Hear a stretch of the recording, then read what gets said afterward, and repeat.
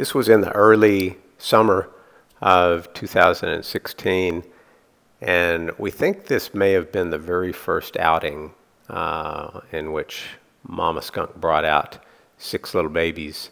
It was actually hard to count them. They were a little tornado of, of swirling skunks uh, here that was kind of hard to keep track of.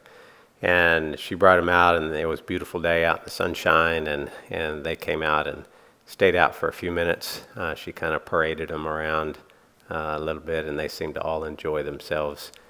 After this, uh, she stayed there with them for a couple more days, uh, but then eventually left. Uh, they were living in an, the underground tree stump den that many different animals have lived in and that we've filmed uh, there through the last couple of years.